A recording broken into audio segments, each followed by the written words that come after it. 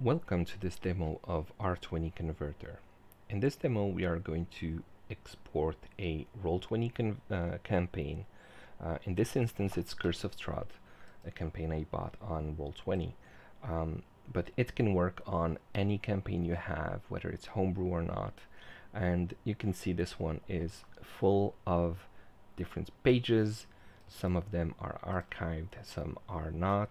There's a lot of chat as well um, journal entries, characters, um, all sorts of things, including music, etc. Um, the first thing we will need is to have a button here to export our game. So the way we do that is by going to github.com slash kakaroto slash r20 exporter. You will find the link in the description below. Um, you can read through the README. Um, there's a, an important disclaimer to read here. And then to install, visit Chrome Web Store. This only works on Chrome, not on um, Firefox uh, because of technical limitations. Once you install it, you can reload the page so that you can have your um, export buttons get it added here. So what we can do is either to export our campaign to a JSON file, which will be read relatively fast and small, or export them to a zip file. So if we do a export to JSON, we will end up with a, um, in, th in this instance, considering the chat log I have and all that, uh, it's about uh, 50 megabytes, um, a relatively small file. Um, otherwise it's about 1.5 gigabytes. Um, so I've launched Foundry VTT. You can see here I just installed the DND5E system, otherwise I have no worlds. It's a completely new installation. And if I right click and browse user data, so you see Curse of Strahd JSON has already finished downloading and we can also try to export campaign to zip. So the difference is that the JSON only contains your campaign content uh, while the zip file will also contain all of the assets used in it. So all the token, all the artwork that is used within the campaign itself. Um, so that's the difference between the two. All right, so um, now we need to convert our campaign. We'll let it run in the background, but for now we can go to patreon.com slash kakaroto and you can click on R20 converter here for example and you get access to the uh, latest version uh, from right there.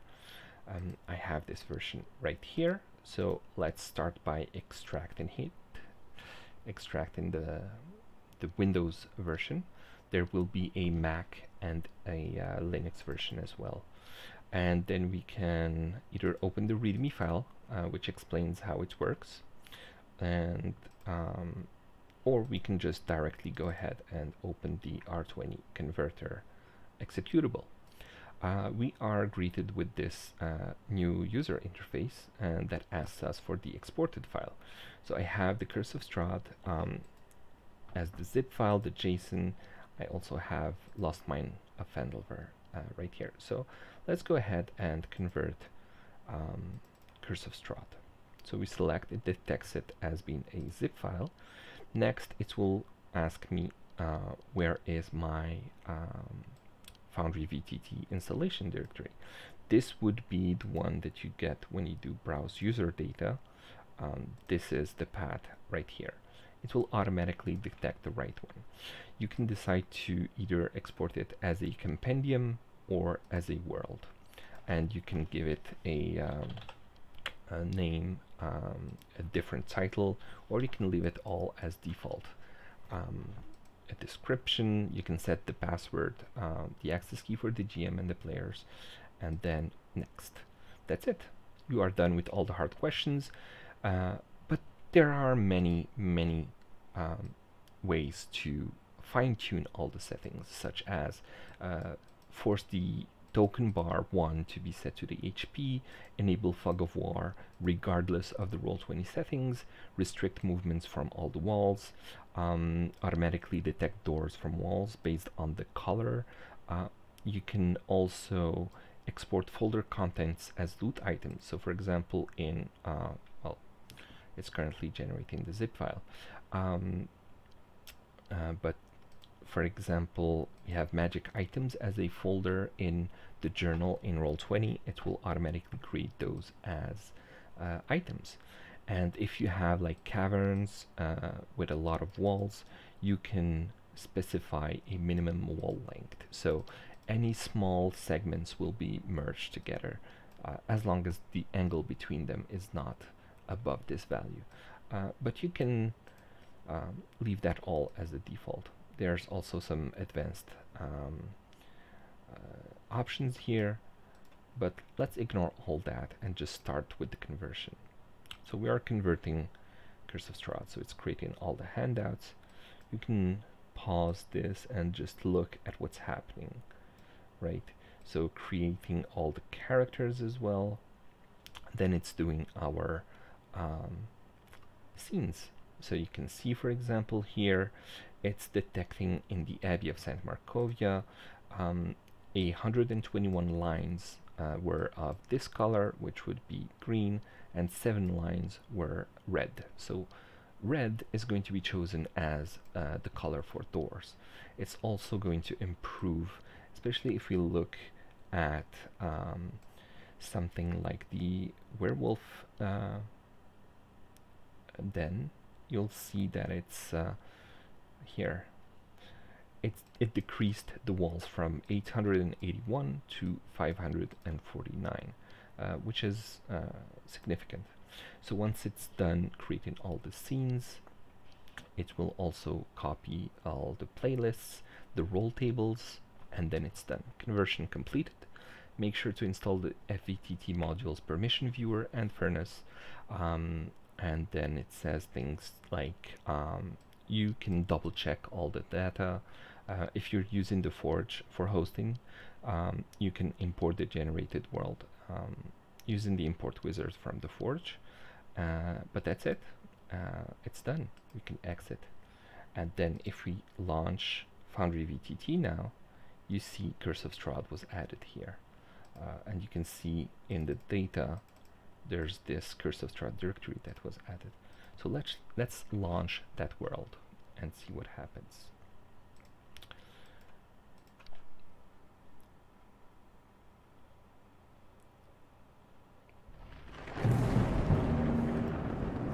You have some music playing. Let's stop that music. There you go. Uh, so there we have our landing page that was here. We have Barovia. We have um, all our maps with all the details. This one was uh, homebrewed. Um, so that's we, we recover all the chat as well including the little um, hover from Roll20. Um, we have all our scenes. They all got imported. Uh, our actors, so the monsters, you can see all the details are there. Um, sorry, all the spells. Our player characters as well have been uh, copied over with all of their data and magic items, um, those are the magic items from the journal folder. So if you look at the magic items here, the journal folder from uh, Roll20, it's got copied and created as uh, items. And we have our various decks of cards as well. Um, and uh, of course we have our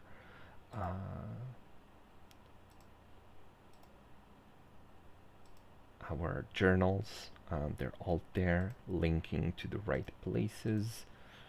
Everything is exactly as you left it in Roll20, as well as the links between all of the chapters, all of the um, content. Um, the decks are rollable tables as well, and uh, you have your music um, and everything is just perfect and that's how you convert your roll 20 game into a Foundry VTT uh, game. So let's have a quick look, for example, here at our um, at one of the maps. You can see the walls here uh, have been set properly everywhere. Um, so you have here a door that is in the wrong place. This is because on Roll20 we open doors by moving them away. So we need to fix that. Now we have an actual door that can be opened in Foundry um, right there. Um, these should have been windows, um, not doors, but you can just select them and just change to um, uh, movement restriction, but no perception uh, restriction because they're they are windows and remove the door attribute. Now they are walls um, that act as windows.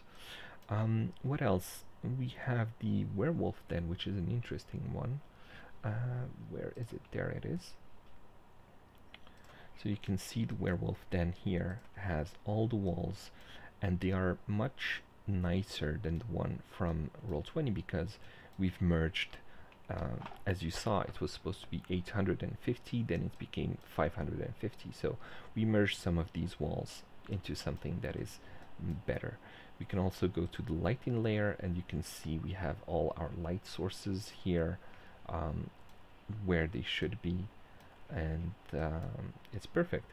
We can see the tokens here that are on the GM layer um, hidden.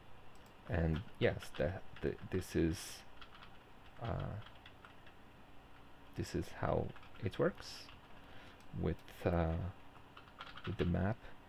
Um, there are some improvements that we can do such as uh, selecting all of these walls and changing them to um, to be uh, terrain walls.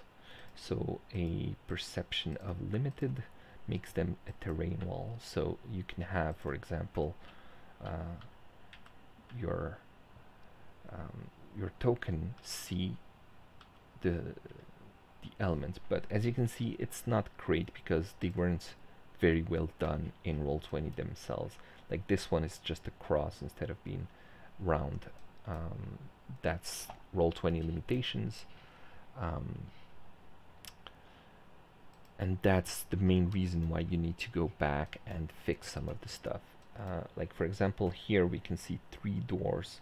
It should really be one but because roll20 had a sort of handle um,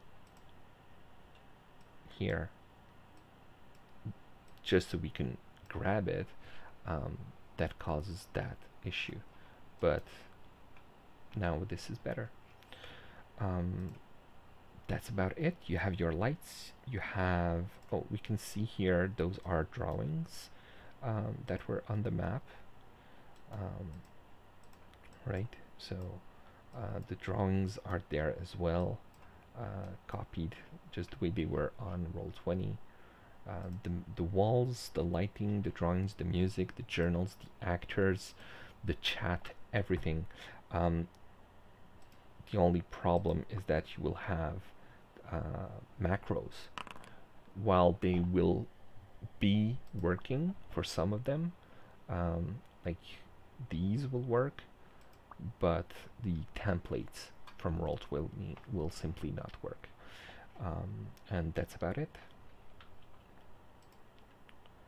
Uh, the zip file here is downloaded. So um, there you go. To get roll20 converter you go to patreon.com slash kakaroto and uh, you can download it from there. Uh, you need to be on the $5 tier to get it. Um, it only works for D&D 5e games. If you have like Pathfinder or another game system, it will still work just fine, but your characters will be broken. So the character sheet will not work um, because R20 Converter supports the Shaped sheet and D&D 5e by Roll20. Um, so that's about it I think for all the disclaimers and all the information. If you have any questions you can go to my patreon and join my discord uh, where you can ask all your questions. Thank you